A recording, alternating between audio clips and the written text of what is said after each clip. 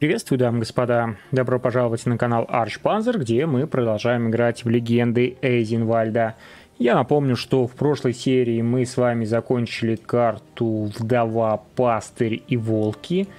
Закончили мы ее за Волков и Вдову, соответственно, немножечко побили Пастыря. Ну, не стал я уничтожать никакую из сторон, получается, помирил двоих, и третий у нас вроде как успокоился. Сейчас у нас новая карта, задание встретиться с Даниэлем Треверским. Отправляйтесь в замок Гипфильбург, встретитесь с Дэниелем, графом Тревора и обсудите с ним обстановку. Вот у нас карта. Огромная, по всей видимости, карта, несколько здесь замков. Я думаю, что будет много чего интересного. Есть крестьяне, Паулен Пимонт, Филлипс дважды крещенный, а еще у нас тут дезертиры где-то ходят. А где у нас дезертиры? Давайте сразу F5. Что у нас по отряду? Да, икону святого Келиана мы с вами оставили, но мне в комментариях написали, что можно было бы ее и отдать, она все равно бы к нам вернулась. И также написали мне правильную вещь, то, что квестовые предметы можно, в принципе, убирать в инвентарь, а сюда другие какие-нибудь полезные штуки ложить, потому что квестовые предметы, они так или иначе перейдут с вами на другую карту. Но я не стал перезагружаться, это, по-моему, было бы не очень честно. В любом случае, какие-нибудь штуки мы здесь с вами еще найдем, потому что, ну, как правило, вот во всяких э, ожерельях и колечках особых-то проблем нет. Э, единственное, что там у нас хорошая штука была для священников и паладинов, но у нас банально ее некому одеть было, поэтому мы бы ее в любом случае никак на следующую карту бы не перетащили. Ну да ладно. Так, дезертиры. А вас много? Может быть для разминки с ним... Опа, опа, тихо, я вижу их. Так, скорость какая у меня? Скорость 1.0. Э, интересно, интересно, опять же таки, это на время. Так, кузни есть. У нас еще тысячи денег есть. Но на эту тысячу денег, скорее всего, мы здесь ничего не купим. Да нам, наверное, особо сейчас ничего не нужно. У нас наши бойцы максимально снаряжены. Так, сколько вас здесь? Ух, вас мало. Давайте мы с ними разберемся. Так сказать, для тренировочки. Посмотрим на... На черта ты с нами встречи ищешь. Золотишко что лишнее? Подевать... А, поделиться хочешь? Ага. То есть даже сами разработчики удивлены, что я влетаю в такую драку. Но нет, ребята, я просто давно не играл. Я хочу немножечко воспоминания освежить, так скажем. Так, ты давай жди пока. Ну да, командующий, конечно, у нас здесь сумасшедший убийца. Впрочем, как и рыцарь второй. Они тут же сдались. Получили мы первые трофеи. Там, по-моему, руины какие. Давайте я тоже их посмотрю. Сгоревшие деревни. Да, там кто-то есть. Правда, мы пешком будем. М-м-м. Пешком-то это уже не очень хорошо. Наверное, парирование. Ай-яй-яй-яй.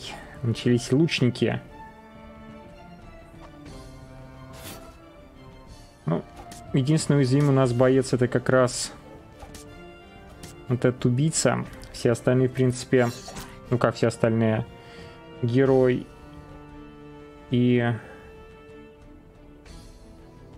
Никого не убиваем. Ладно, давайте вот этого товарища убьем. Герой и рыцарь, в принципе, очень сильный. Они еще есть регенерацией. Их не так-то просто продамажить.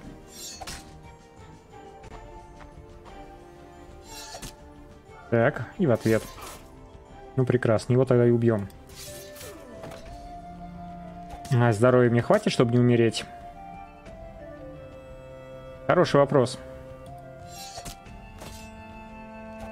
Да, должно хватить. Надо будет подлечиться. Медика надо будет раздобыть нашему отряду. Никак мы здесь никого не убиваем. Давайте вот я его стукну. Потому что без медика, конечно, тяжеловато будет. Куда это он пошел? Он отступить решил. Блин, исцеляющий бальзам. Такая дорогущая штука. Имеет ли смысл его сейчас тратить? Да, я потрачу. В любом случае, восстановление ран надо будет тратить. Если его сейчас уронят. Может быть, даже и зря. Я сюда влетел, не так много опыта здесь получу, вряд ли много лута получу. Но, опять же, для тренировки может быть полезно.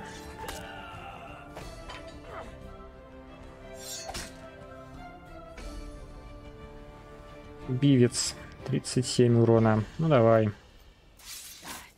Так, ну все, в принципе, мы в лучников влетели. Минус один. Продолжает страдать у нас наш убийца. Что же за такое? На тебя нечестивая сила, что ли, какая-то действует, или что? Наверное, вот этот товарищ на нас что-то страшное наложил. Так, так, персонаж эффект. Тот, кто наносит персонажу урон, сам получает, ну да, 50% от урона. То урона. Отлично, мсти. Только теперь лечиться нам надо.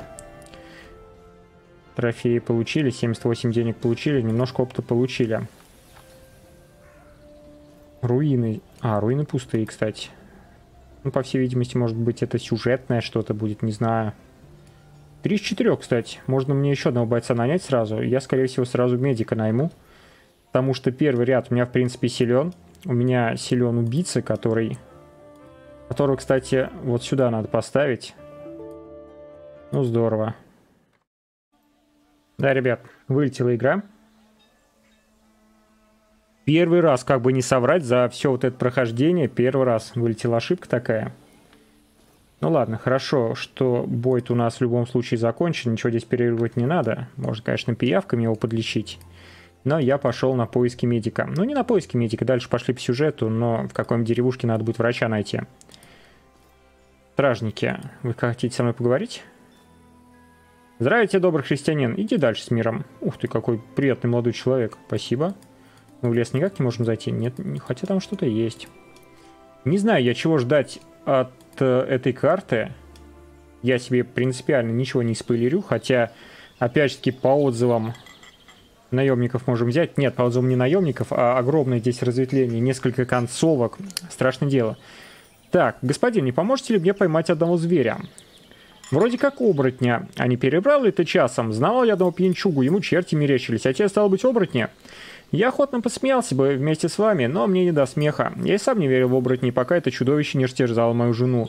О, это страшная история. Месяц назад я был вынужден ночевать вдали от дома. Вернулся лишь под утро, а когда вернулся, моя любезная была растерзана. Испуганная прислуга поведала мне о громадном сером звере, похожем на волка с дьявольской силой. Он запрыгнул в окно усадьбы, и слуги не смогли его остановить. Двоих он растерзал на месте. Изловить этого зверя – мой долг. Я уже послал в Ликштадт за своим кузеном, инквизитором Данстоном. У него, не сомневаюсь, найдется средство против подобной нечисти, но я не хочу терять время и попытаюсь поймать чудовище своими силами. Одному мне не справиться. Помогите мне, моя награда будет щедрой. Охоту следует начинать ночью, именно тогда этот зверь рыщет в поисках своих жертв. Как пробьет комплиторий, приходите в мою усадьбу недалече от Фубергауза, я отмечу ее на вашей карте. Блин, это по-любому на время, да? Ай, рассказ путника. Что ж там такого опасно? Разбойники или дикие звери? Нет, не зверем устроят строят страшно, не людьми. В таком разе чем же? Расскажи-ка по всей подробности. Но если так, значит по порядку. Ой-ой-ой, я видел такую картинку э, где-то на скриншотах. Однажды старый богатый граф Ротвальский женился по любви на молодой и очень красивой девушке из обедневшего рода. Граф сомневался, любит ли она его, потому его мучила ревность. Он стал бояться спать, опасаясь, что когда он уснет, жена уйдет от него к любовнику. И вот однажды граф заключил сделку с нечистой силой. Он продал дьяволу все свое графство вместе с лесами и угодьями, а сатана взамен освободил его от надобности спать. Глаза графа теперь ни на минуту не закрывались. А потом граф умер, и ко всеобщему ужасу глаза его не закрывались, даже после смерти. Веки ему опускали, и они тут же поднимались. Что же делать, так обхоронили его с открытыми глазами. Но даже в склепе графу не было сна. По ночам он стал выходить из склепа, собирать дружину и шел обходить свои прежние владения и вечно открытые глаза его светились мертвенным светом. Говорят, если человек заглянет в глаза бессонного графа, то непременно сойдет с ума. Другие же утверждают, что те, у кого хватит смелости выдержать его взгляд, увидят в его глазах ответы на все свои вопросы. Но даже со смертью графа не закончилась эта история. Земля, проданная сатане, перестала родить. Тут ничего не растет, кроме странных, сухих и от рождения мертвых деревьев. Людям пришлось уйти отсюда. Вот уже много лет на этой земле никто не селится. И даже просто ходить тут многие боятся. В Восточном Ротвальде по сей день нет своего правителя. А страшные небылицы про эти места рассказывают по всему герцогству. Кстати, из-за этих рассказов жены в шутку называют ревнивых мужей бессонными графами. А, уразумел теперь. Уразумел, почему в Ротвальском лучше не соваться. Уразумел, почему Хабана, сосед моего, кумушки бессонным графом дразнят. Он-то со своей жены глаз не спускает ни днем, ни ночью. Один раз даже старости морду набил, когда тот, подвыпивший ее, ущипнул за то, что щипать не положено. Ох, есть курить. Лесные блудницы. Начнем с самого интересного. Слышали весть последние? Повылазили, что тараканы своих закутков эти язычники. Давить, давить их надо, чертей поганых. Что же они тебе дурного сделали? Поди на свинья бешенство наслали. Конечно, наслали, оно видно. Пришли затемно, знахарка, к нам присоединяйся, кстати. Пришли затемно к соседскому подворью и нашептали, чтобы все свиньи в доме перебесились. А на утро выбегает соседка из дома, сама не своя, доклянет всех на свете. Подействовали чары. Ха -ха. Да замолчи ты. А может тебе язычники по нраву, а? Они же сами как бешеные, что год устраивают в лесу капище прямо на сбор урожая. Подгадывают время, костры зажгут, а потом хороводы водят, да игрище строят. И пляшут совсем без одежки. Что, и правда совсем без одежки? Ха, надо сходить посмотреть. Чуртя, не ходи к ним, знаешь что, я тебе крест даю, они после с диким зверьем ложатся. Ну и ну. На это уж точно поглазеть надо, хоть одним глазком. Где ты говоришь, они собираются? Что, совсем башкой тронулся? Зарекись к ним не ходить. Хорошо, зарекаюсь, чтобы у меня все пиво скисло, если я надумаю к язычникам сунуться. А теперь говори, где ты их видела. Ну, я-то слышала, когда по дороге вдоль южного леса шла. Иду, значит, с вечером тороплюсь, пока солнце не сел. Тут слышу с глубины леса крики, визг, барабан. Они, верно, теперь еженочно на закате у своих идолищ собираться будут. Ох, трактирщики, кислое же пиво у тебя. Так, ладно, трактирщик пошел. Так, Филипп Жнец. Ну и времечко нынче. Мало того, что ротвальцы заявились без приглашения, так еще и лихачи всех мастей слетелись, как мухи на навоз. Слышал, сюда Клаус Чученик скоро пожалует, а Филипп Жнец уже тут как тут. Про Клауса я-то знаю, Филиппа первый раз слышу. Он кто такой? Известно кто, рыцарь-бродяга. Своей земли у него отродясь не было, а потому кормится он Кормится он тем, что выполняет за плату разные наказы, иногда даже разбойников отлавливает, но чаще убивает долги, зато и жнецом прозвали. А, вот что про него рассказывают. Один горожанин позвал его, чтобы выбить долг с соседа. Жнец пришел к нему, а тот ему говорит, нет у меня сейчас ни денег, ни товара. Нечем мне долг выплатить, хоть голос меня сними. А жнец отвечает, ну не могу я с пустыми руками и заказчику вернуться. Как ты сказал, так и поступлю. Взял он, да, отсек должнику голову, а после приносит ее заказчику, кидает к ногам и говорит, принимай товар. А горожанин-то он побледнел весь и говорит, что ж ты сделал, нехристь, этого я не просил, уходи скорее, не буду я тебе за смерть убийство платить. А Филипп, будешь, еще и двойную плату дашь за хлопоты, а не то я с тебя таким же способом обещанное взыму. Что ж поделать, пришлось заплатить жнецу. Ну и дела. А в Тревер что он забыл? Говорят, ищет он чего-то тут, а чего неведомо, только ошивается все больше по владениям Кляйнзена до Абхана. Они этому не больно-то рады, но у них и без того забот хватает, чтобы еще и со жнецом схлестываться дочь трубача. А слышали, что дочка Гюнтера Трубача приключилась. В общем, заявились к ней женишок Леопольд из Мансфельда, статный да небогатый. Гюнтер, само собой, дал ему отворот-поворот, но поздновато. Дочка-то уже забрюхать успела. Вздумал тогда Гюнтер женишку отрезать все лишнее. А тот как дал дёру, Гюнтер за ним гнался до самого Вольмика. А там у красной волки, которым Леопольд примазался, загрызли. Это про нас, мы помогали этому товарищу. Осталась брюхатая дочка на руках у Гюнтерова брата Йоханса, но он, ясное дело, от ребенка избавиться решил, кому в роду полукровки нужны. И то ли он торопился, то ли собственной рукой младенца убить попрезговал, но, в общем, решил он еще в чреве дитя умертвить, и пошел за этим к колдунье. Колдунья его выслушала и сказала, мол, что все сделает, пусть приходит к ней на другой день. А когда Йохан на другой день заявился, она ему говорит, задумал ты, злодей, чужое дитя убить, теперь на тебе, на тебе ноша будет, жизнь его будет беречь как свою собственную. И рассказывает, что есть такие духи, которые судьбами всех владеют, и тех, кто по земле ходит, и тех, кто еще не родился. И все им известно, как эти судьбы между собой переплетаются. Так вот, попросила этих духов судьбу Йоханса и племянника в узелок связать. Так, чтобы, если младелец умрет, Йоханс на следующий же день за ним отправится. Ох, нифига себе. Трубач, известно дело, рассверепел и хотел уже колдунью мечом проткнуть. Как смотрит, нету перед ним никакой колдуньи. Кочега стоит. А поверх нее грязный фартук накинут. Плюнул он, да и вышел из избы. И что, неужели Юхан словами колдуни поверил, ребенку ничего не сделал? Поверил или не поверил, но рисковать не решился. Племянницу он, как она разродилась, в монастырь отправил.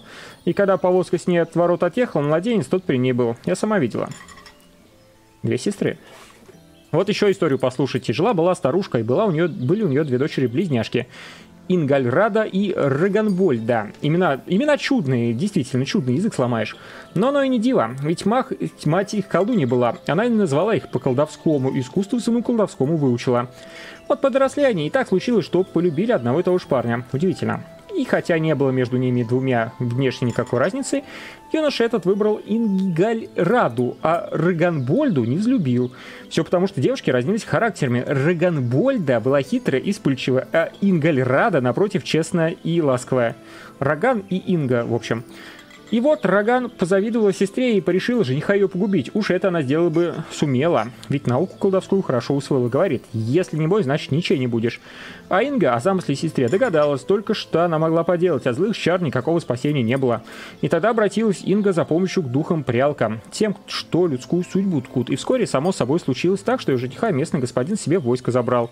И отправился парень с войском в чужие земли так далеко, что чары Роган до туда не доставали. А потом он в тех землях и осел.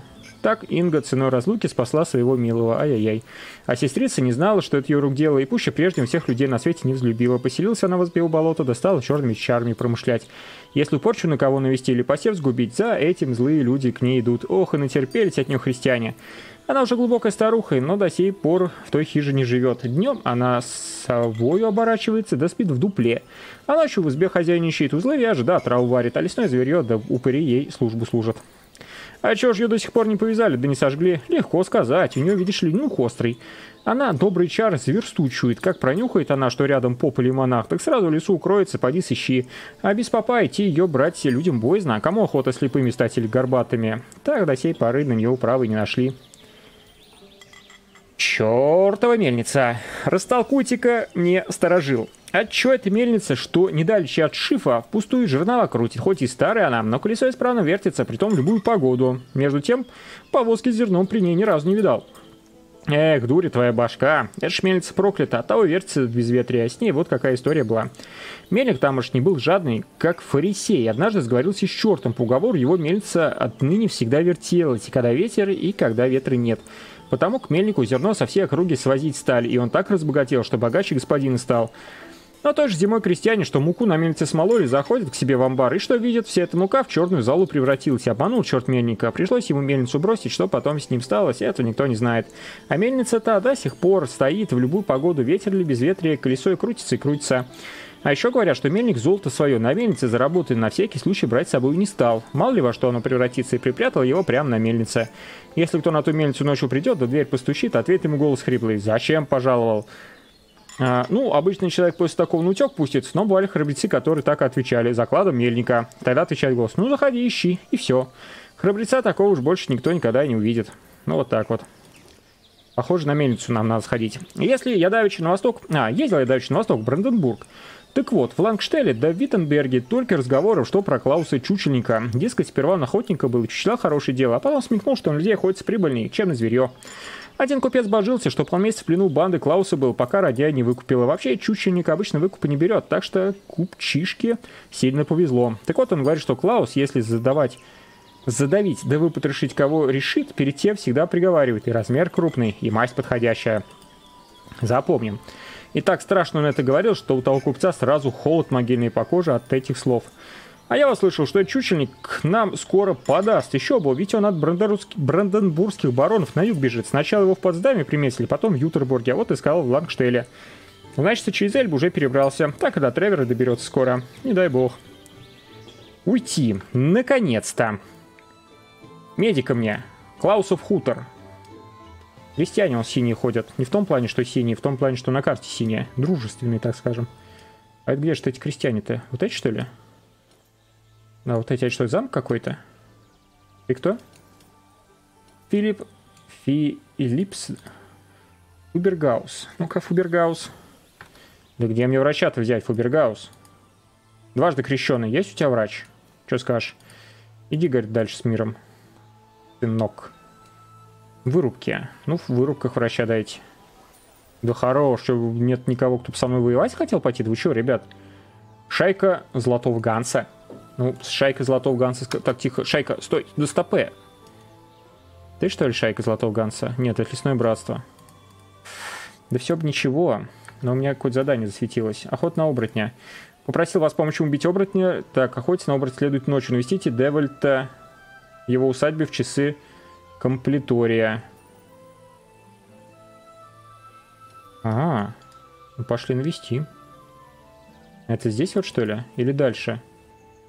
Нет, это здесь, усадьба Девольта. Давай, комплиторий.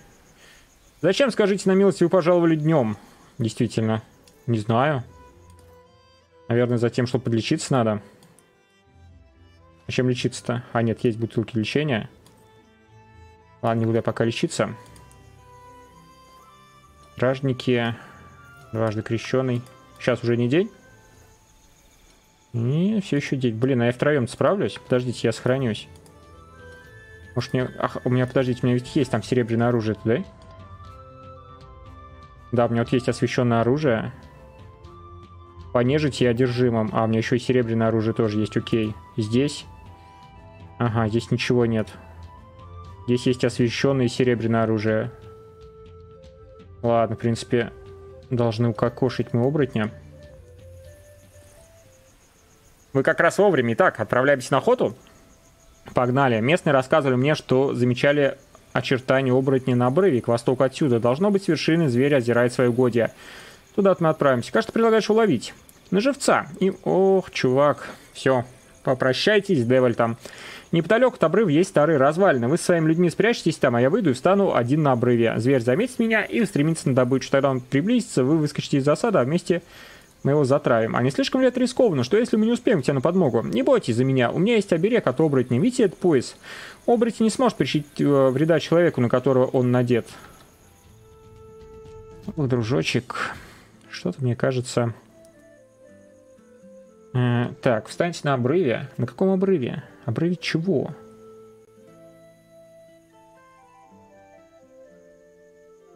Нужно будет следующего. Он с нами пошел? Он с нами пошел. Слушай, Девиль, там может задание не выполнять пока? Походи с нами. Я просто не понимаю, чего, на каком обрыве-то он хочет, чтобы я... Так, еще раз. Та-та-та, в руинах... Э, сидеть в засаде в руинах неподалеку. Отправляйтесь к обрыву на востоке. На востоке. Так, иди на обрыв на востоке. Что за обрыв на востоке? Это где мы были, что ли, в начале с этими, с бандитами дрались? Ну иди. Давайте там попробуем. Стрелочки, конечно, здесь не хватает, явно. Стрелка, она показывает на... А, нет, вот она куда показывает. А здесь зачем стрелка горит?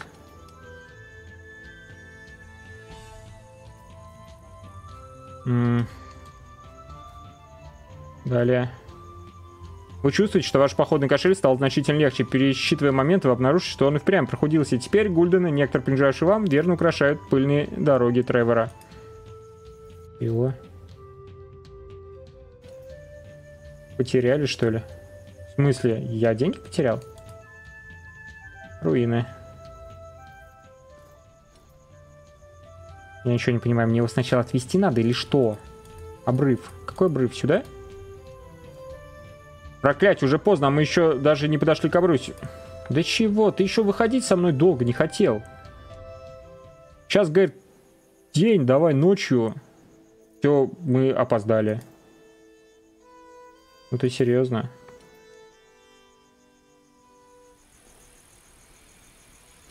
Зачем, говорит, пожаловали днем? Угу. А сейчас ночь?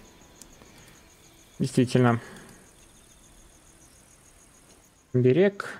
Может, зато сейчас 75 монеток не потеряем. Так. Обновить.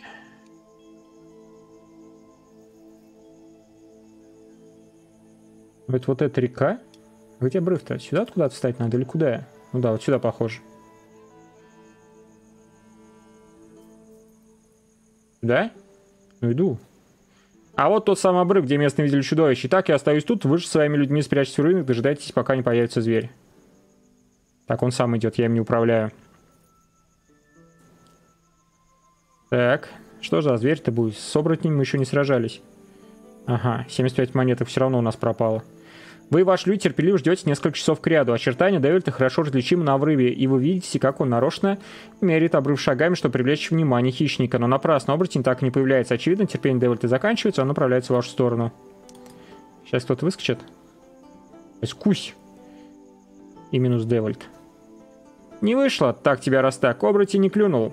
Кто бы знал почему. Возможно, его отпугивал твой берег? А ведь верно. Как я сам не сообразил. Что ж, делать нечего. Придется в следующий раз отправиться на ход без оберега. Жду вас снова в этой усадьбе в тот же час, что и сегодня. Ну ты даешь.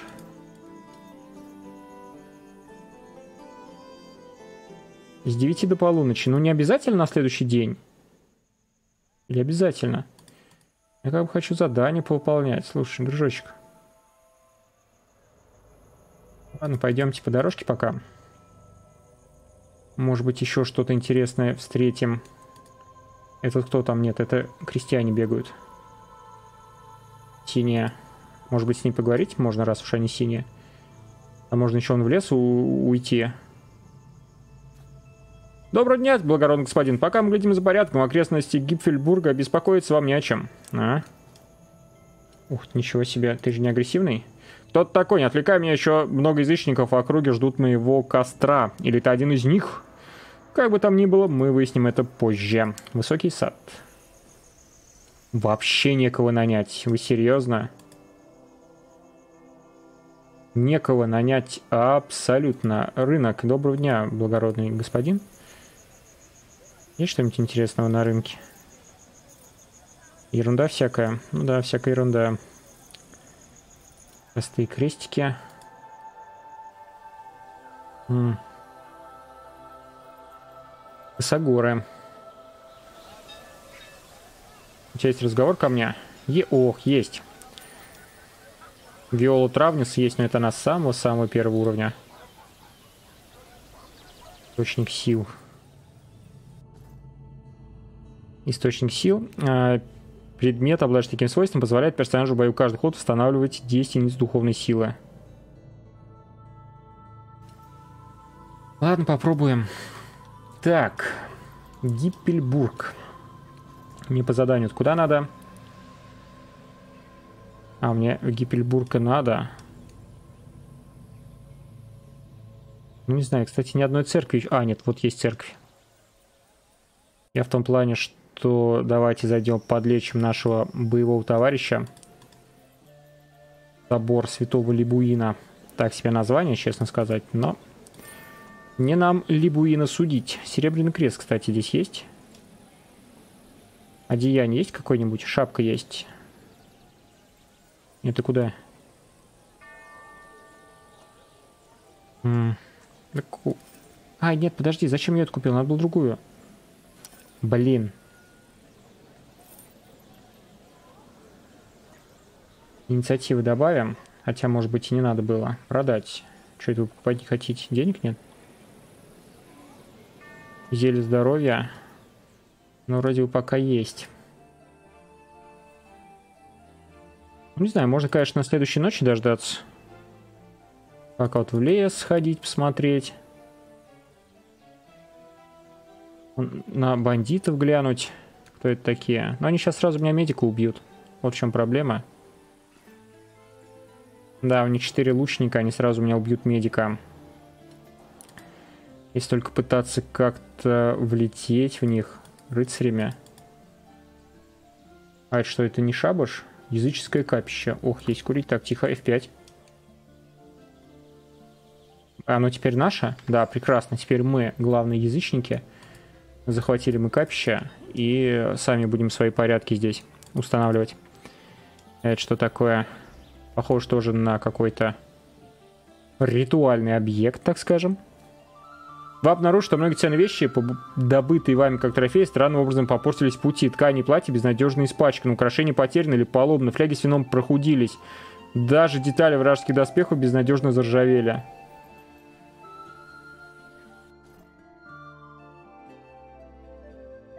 Это икона! Это икона!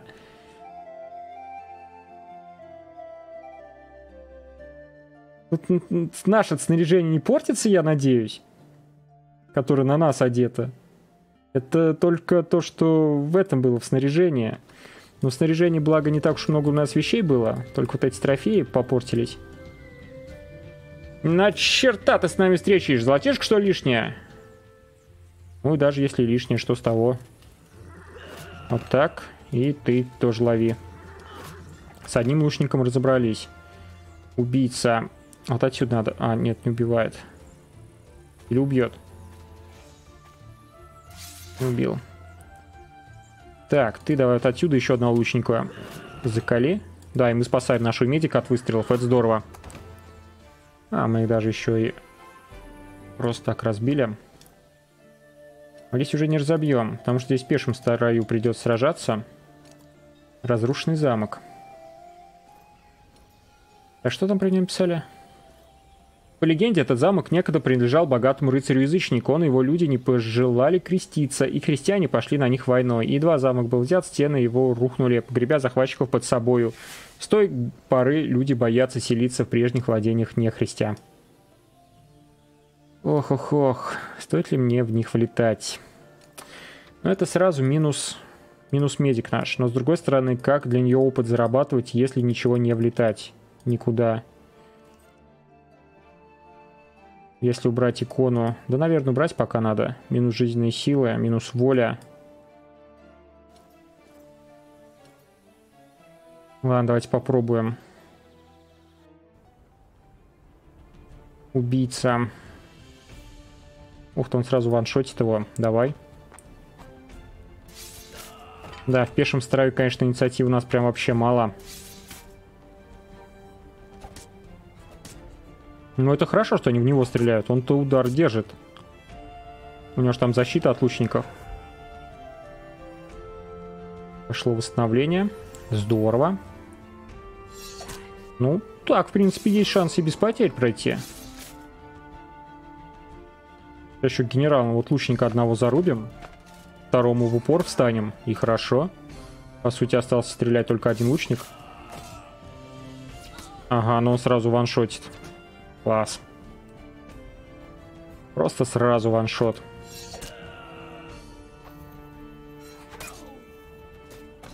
Серьезно? Это он с мощным ударом меня так вырубил? Неплохо.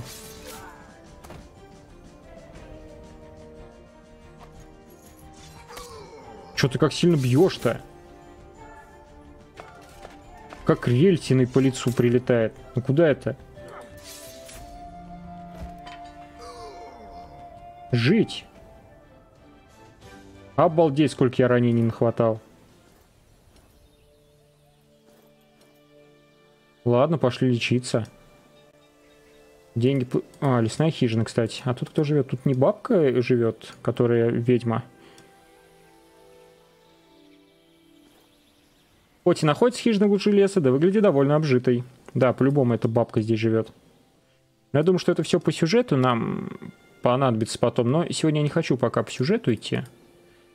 Давайте мы сегодня вот э, с оборотнем разберемся. Как раз сейчас ходим залечимся и пойдем к оборотню.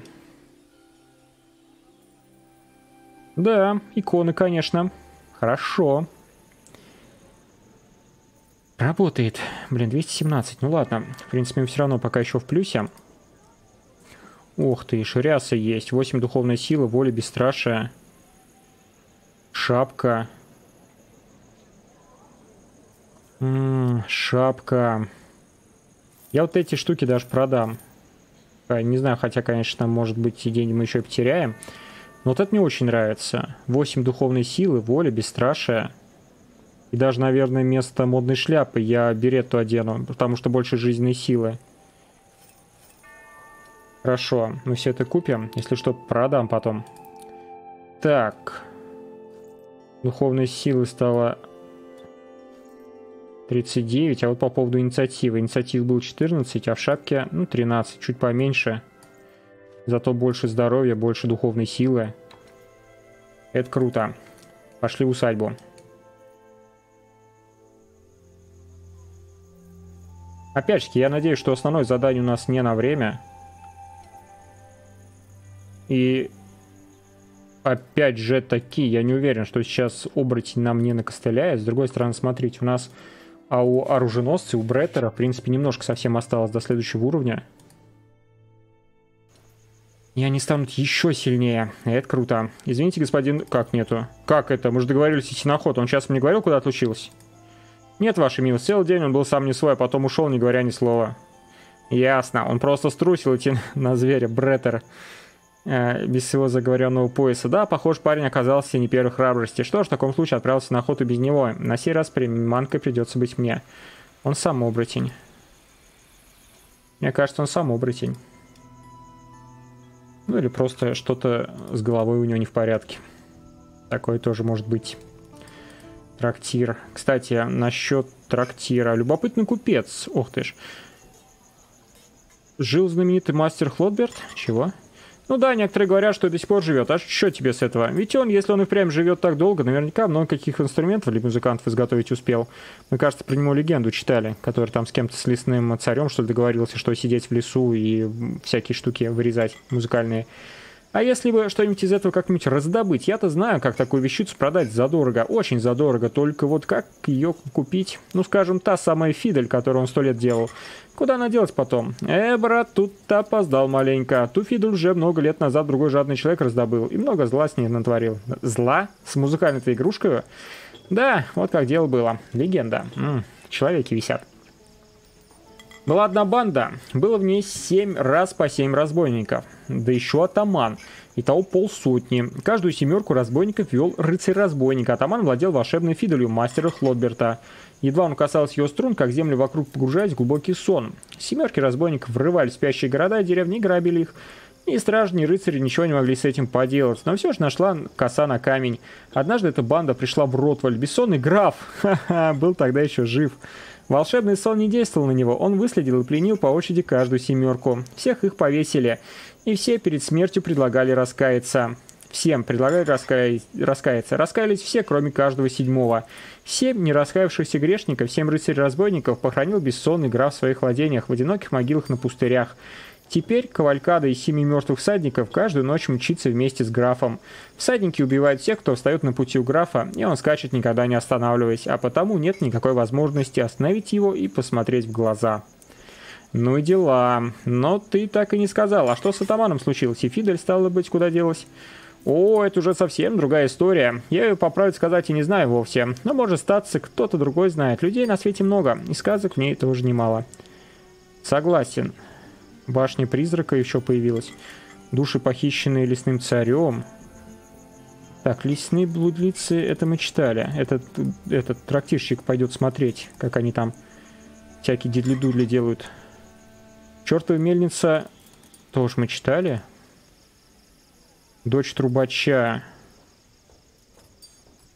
Читали. Это где мы даже участие принимали. Легенда про Фаральда. А знаете вы легенду про волчью шкуру? Вот послушайте. Жил здесь когда-то рыцарь Фаральд. Его люди пасли стада на склонах Блаукама, а Фаральд всегда мог защитить своих людей от набегов соседей или разбойников, но вот появилась новая беда – волки. Они в большом множестве расплодились в близлежащем лесу и перебрались в предгорье. Они стребляли овец, и пастухи были против них бессильны. А когда овец стало мало, волки сбились в большую стаю и начали нападать даже на людей. Ох, немало горя принесли они местным пастухам и их семьям.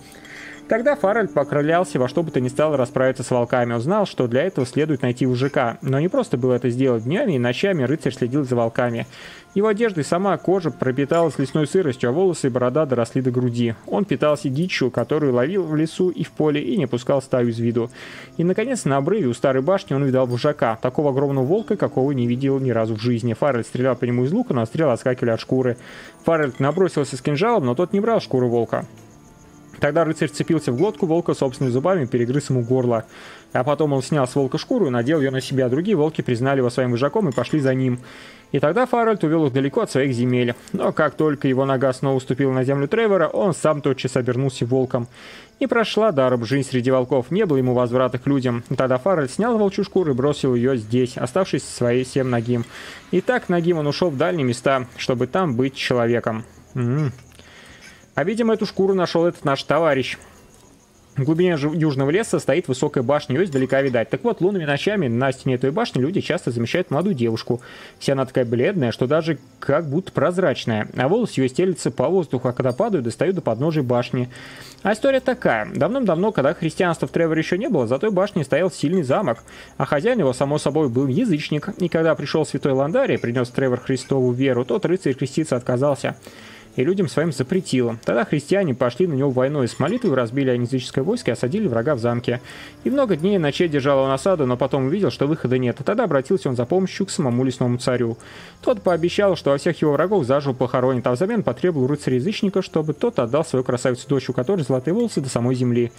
И так ему говорит. «Долгая дорога в мое царство тяжелая, а потому дай дочери в дорогу три вещи. Плащ мехом, мехом подбитый, чтобы не замерзла шелковую уздечку, чтобы не упала самого жеребца, а главное серебряный гребень, чтобы заколол волосы, когда ехать будет. Иначе зацепится ими за ветви, запутается и дороги не найдет». Легко было отцу с дочерью расставаться, да выбора не было. Христиане уже стены штурмовать начали. И стал у нее в дорогу собирать, а дочка лесное царство не очень хотела, а потом гребень свой серебряный нарочно потеряла. Ищут его слуги, ищут, да никак не находят. А христиане уже почти весь замок заняли. Одна только башня осталась. Тогда отец не стерпел и говорит, забирай ее так, лесной царь. И с этими словами сбросил дочь с башни. Эко как.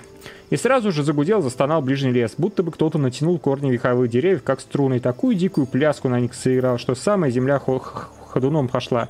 Рухнул замок и всех язычников заживо сохранил. Уже не одна сотня лет с той поры прошла, а воинов тех никто по-христиански не упокоил. Спят они под обрушенными стенами замка. Мы там были, кстати. И говорят, ежели ночью там кто шуметь станет, то они проснуться могут. А в землях рыцарей-язычника люди с той поры селиться боялись. Мы были там. А дочь его так не смогла в лесное царство попасть без серебряного гребня. Всякую полночь, если луна светит, появляется она на башне, в лунном свете гребень свой ищет, да никак не найдет. Я на самом деле нашел. Заехал я в ваши земли, иди удаюсь. Какой огромный густой лес на юге. Видать, много дичи там, а? Дичи-то, может, и немало. Но охотников до нее мало. Дичи немало, охотников мало. Пойдешь туда и сгинешь за раз. Это что это? Непростой это лес. Бает в глуби его растет волшебные яблони. На ней такие яблоки растут, что кто откусит от того яблока, бессмертным делается. А чтобы людям они не достались, лесной царь все тропы, что к ней ведут, заколдовал. Хоть год под ним ходи, а к яблоне не выйдешь. Одна только тропка к яблоне ведет, но она человеческому глазу невидима. Да разве кто в эти детские сказки верит? Представь, по сей день такие чудаки находятся, которым тех яблок ответить охота. Вот они в лес отправляются, а дальше как повезет. Кто вовремя сообразит, что затея пустая и воротится, кто просто в лесу заплутается, да кормом для волков и рыси станет. Но хуже всего приходит с тем, как яблоко не близко подойдет. Тогда сам лесной царь появляется, и пока они яблоко не сорвали, души у них забирает. И после этого бродят они неприкаянные и неупокоенные по заколдованным тропам. И свернуть с тех троп никто из них уже не может. А когда по ночам в тот лес заносило рассказывали, Идешь ты по дороге, вдруг голос из-за деревьев стонет что-то свое на загробном языке. Ну, тут любой путник сразу бежать бросается, а если обернется, то видит, бредут за ним черные фигуры, тощие да кособокие, и руки вслед ему тянут. Ну и дела. Представь, так что охотиться там себе дороже, чё доброго сам пищей станешь, да не у зверя, а у кого похуже. Прекрасно. Такая у нас разговорная серия сегодня с вами получается, но пойдем к оборотню. Мы потеряли еще 230 Игра. Можно корону выбросить? Нет, подожди, икону. Какую корону? Корону... Нет, нельзя. Ладно. Ну, что поделать, я сам ее с собой взял. Будем теперь расплачиваться.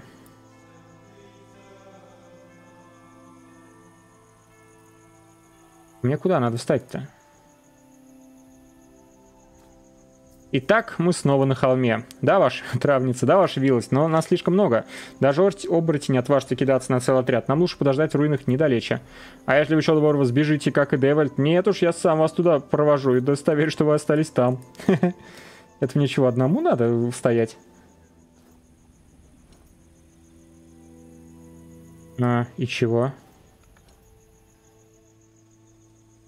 Ничего не понял.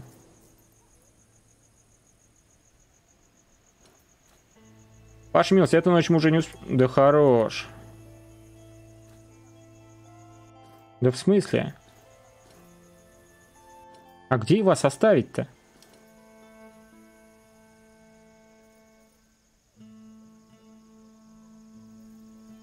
Где мне их оставить?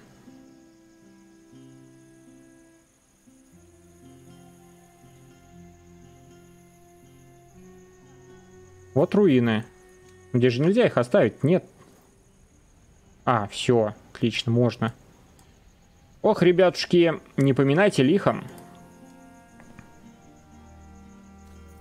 Ну что ж, зверь, я твоя добыча, иди ко мне. Идет. Так, как 5. А можно бежать уже? Нет, бежать еще нельзя.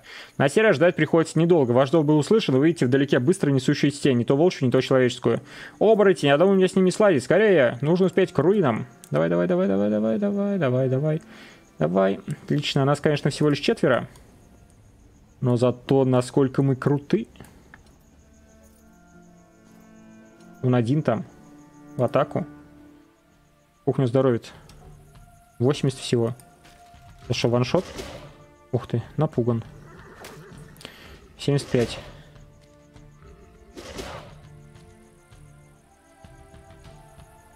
Давай, руби.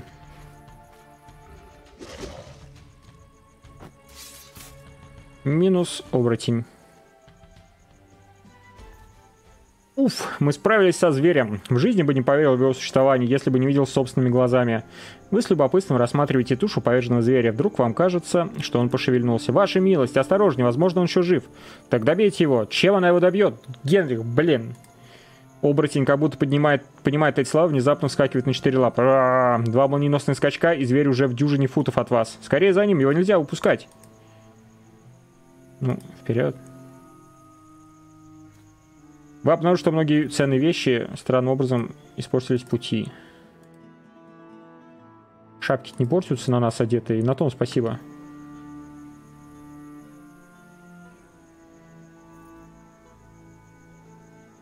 Не пугайтесь, мы просто прогуливаемся. Ну домой он бежит. Смотрите, оборотень ворвался в усадьбу Девольта. Скорее мы можем обложить его в доме, оттуда он уже не убежит. Ох, Девольт. Господин, спасите нас, спасите дверь в доме, он запрыгнул через окно в покое господина Девольта, он до сих пор там. Но ведь уже утро. Если верить рассказам, при солнечном свете оборотень не опаснее слепого щенка. Сейчас мы схватим его голыми руками и продадим герцогский зверинец. Все ко мне, мы заходим в покое. Вы врываетесь в комнату, залитую мягким утренним светом, но зверя нигде не видите. Мгновение спустя вы замечаете в углу скрючившегося человека в изорванной одежде. Его бьет крупная дрожь. Он обводит вас мутным потерянным взглядом. «Девальд?» «Ротгер, вы пришли? Где я был? Я ничего не помню». «Боже милостью, господин, вы весь в крови». «Что за девальщина? А где же оборотень?» «Похоже, оборотень перед нами». Итак, Девольт, как нам теперь поступить? Я не знаю. Похоже, заговоренный поезд сдерживал оборотня внутри меня, а когда я снял его, зверь вырвался наружу. Но я не хочу жить с этим проклятием, вы должны помочь мне его снять, мне больше некого просить о помощи. Я отправлюсь вместе с вами и буду служить вам верой и правдой, пока мы не найдем способ меня расколдовать. И я чувствую, что надо бы торопиться, что-то сдвинулось с места, и вот-вот случится нечто дурное. Девольт, мне проклятой иконы не хватало. Как выяснилось, оборотень никто иной, как сам Дэвольт. Он просил вас найти способ расколдовать. Вам следует торопиться, пока не стало совсем поздно. Ну, блин, Девальд. Ну, опять торопиться. На тебе шапку на инициативу. Здоровья у тебя мало. Парирование благородное. Интересно, он оборот не может превратиться? Он проклятую картину может взять. Неплохо. Точнее, не картину, а икону. Так, подождите, его кто угодно может взять. Ну да, ну ладно, надо было что-нибудь с собой перетащить, не страшно. Она ему, в принципе, не нужна. Это икона, что-нибудь другое найдем. Ладно, ребят, искать лекарства для Девольта мы уже будем в следующей серии, там, впрочем, как и по сюжету двигаться. Немножечко здесь размялись, вкатываемся в следующую карту и давайте прощаться. Всем спасибо, кто посмотрел это видео. Если оно вам понравилось, ставьте лайки, пишите комментарии, подписывайтесь на канал. Это очень приятно и крайне полезно для развития канала. Еще раз всем большое спасибо и всем пока.